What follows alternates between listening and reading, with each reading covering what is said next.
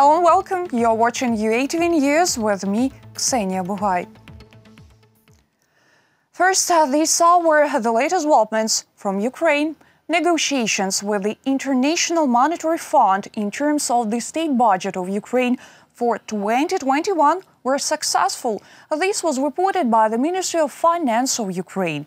The government says that the fund approved the main macroeconomic indicators included in the document revenue and expenditure, as well as the deficit. This paved the way for the next stage of cooperation under the standby program. The IMF may conduct a mission in Ukraine in the nearest future. The success of the mission will give the green light not only for the next tranche of the IMF, but also for assistance from other international institutions.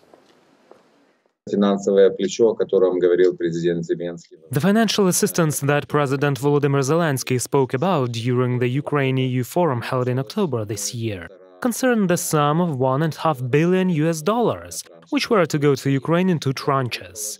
I would suggest that by the end of the year we may receive at least one tranche of this amount. In particular, 750 million US dollars can be allocated to Ukraine as an additional credit resource. In the first quarter of 2021, 8 million doses of the COVID 19 vaccine are expected in Ukraine. This means that at least 4 million Ukrainians will receive immunity from COVID 19 our correspondent found out who will get the vaccination first. Several big pharmaceutical companies declare that a vaccine against coronavirus is ready. I think they've done a fantastic job. Look, I think you know they've done a remarkable job. I think it's been a great team effort. I mean, people on both of our sides, and the AstraZeneca team and the Oxford team, have been working twenty four seven since the beginning of the year. Um, and I think this is the culmination or one part of the culmination of that work. Um, we clearly have a vaccine that is going to be effective. The Ministry of Health notes that three vaccine manufacturers guarantee a high percentage of protection against coronavirus at the moment. Their effectiveness is estimated from 80 to 95%.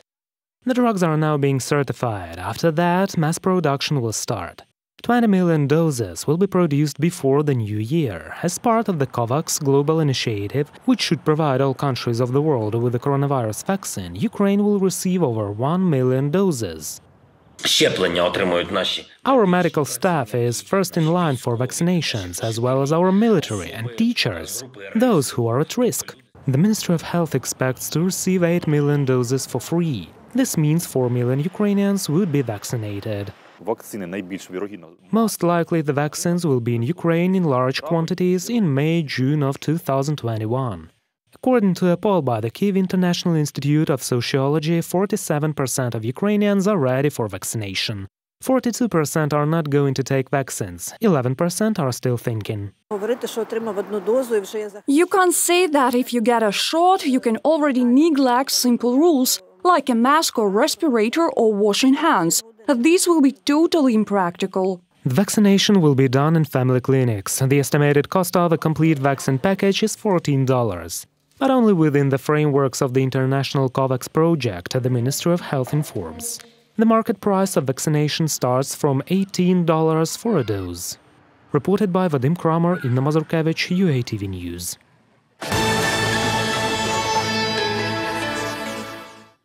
Up next, Five real stories about domestic violence. Uh, the Wild Theatre, together with the UN assistance, has created an interactive play titled New Scars.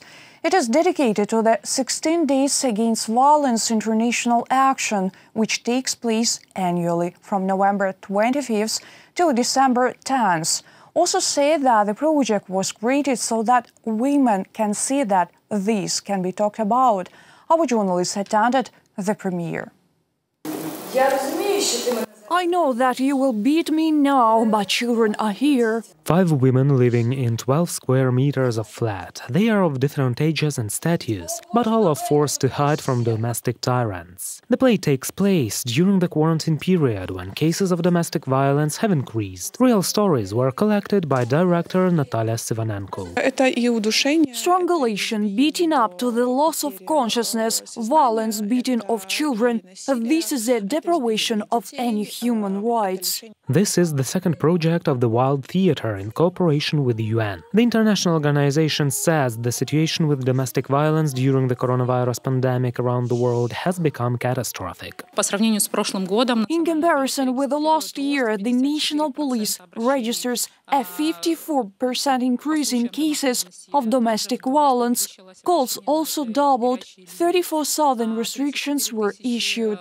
Anna plays a pregnant woman who fled her husband, who used to beat her. It is very important for me to find the logic of the character and present it to the viewer. The viewer has to cry, not me. Then maybe something happens to him. He will understand that it is not normal and that beating of women and children is not something to be tolerated. The actors anchored four times. Each story caused both laugh and tears. The heroines make it clear there is a way out. A lot of women have experienced this, and most of them are just afraid to talk about it. They are ashamed to tell a psychologist about their problem, and this performance helps to show this pain, these problems. A woman in such a situation is not alone. The play New Scars will be demonstrated online on the Facebook page of the Wild Theatre or on YouTube. There is also an interactive version where viewers can choose one of 29 scenarios for the development of the fate of five heroines.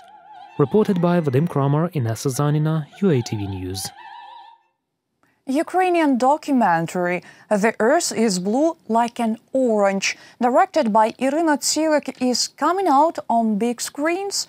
This is a story about a family living in Krasnohorivka town, located 30 kilometers away from Donetsk. Details next. The family living in Krasnohorivka constantly faces energy and water outages in their native town. Moreover, it is hard to find job here. The main character of the documentary, 37-year-old Anna, brings up five children. The mother and children shoot amateur family video. Film director Irina Tsilik turned Anna's house into a film set for a year. This is how The Earth is Blue as an Orange documentary appeared. The documentary is about ordinary people living in the era of hostilities. It tells a story about a strong woman who does not just bring up children but fills their life with joy. Filmmaking process is also shown in the documentary. Anna's eldest daughter, Miroslava, was the first to start making home videos. Now she's a student at Kiev University. The girl is studying at the cinematography department. She says that the most difficult scene in the movie for her was the entrance exam. I was very nervous during shooting the admission scene. I did not want to do it. I filmed how my mother is waiting for me in the front of the university, how much she worries. Anna is the main character. A mother of many children managed to learn a video editing program during amateur filming. She says that filming videos became a kind of therapy for her and her children. Anna called it an attempt to preserve a taste for life in difficult and sometimes dramatic life circumstances. The main thing in this movie is faith in oneself, faith in loved ones, faith in tomorrow. Don't give up, no matter what happens, and do not feel sorry for yourself. Accept circumstances as they are, fight them, keep walking, and believe in yourself. Irina Tsilik's movie won a prize at the Sundance Film Festival for Best Direction in the World Documentary category. The film received its awards in Ukraine as well. It shows amazing directorial skills. I just don't understand how they shot it all. You believe in these people, you have sympathy for them. And after watching, there is a good feeling in any, even in the most difficult circumstances. There is always a light at the end of a long tunnel. It usually depends on people. A series of special screenings of The Earth is Blue Like an Orange will take place in Ukrainian cinemas. It will be attended by representatives of the film's creative team as well. Reported by Vadim Kromer, Svetlana Sich, UATV News. Healing mixtures for medical workers. They are made by Lviv volunteers and are delivered to the main hospitals of the city. The treats for doctors are made of lemon, ginger, and honey. Our correspondents found out do those mixtures help during a pandemic? The recipe for this mixture is the following 1 kilogram of lemons, 400 grams of ginger, and about a liter of honey. Lemon and ginger are mixed in a meat grinder and poured with honey. This delicacy strengthens the immune system, respiratory tract, and gives the body strength to fight viruses. It is not a problem to make such a mixture, and it is not difficult to get these components. They are not chemical, they are natural. This is the most important thing, and it can be used in any form, whether added to tea or coffee, or just with water. Some even eat it with spoons. Olha has been making the health mixtures for six years. Besides, all this time she's been sending them to the front line for Ukrainian military. When the pandemic began, she realized that now the medical front also needs her help. You see, they can buy it as well, organize or make tea for themselves. The most important thing for them, especially now, as well as for the fighters, is the support, understanding that they were not left alone in the fight against this virus, that they are cared for by ordinary people. Every week, volunteers make 40 kilograms of the healing mixture. It is taken to all Lviv hospitals, where doctors are fighting for the lives of patients with COVID 19. There is ginger, honey, and lemon. We have the epidemic season now, and the flu and other respiratory viral infections and COVID 19, a pandemic that continues. This is an instrument that helps to increase immunity and doctors' mood so that they continue working in such difficult conditions. They are working nine months in a row, every day and night. Volunteers raise money for ingredients for a healthy mixture in social networks. And everyone can join this good process. Reported by Vadim Kromer, Yulia Bil, UATV News. That was our final story this hour. Thank you for watching. Stay healthy. More updates on our official website, YouTube, Facebook, and Twitter pages.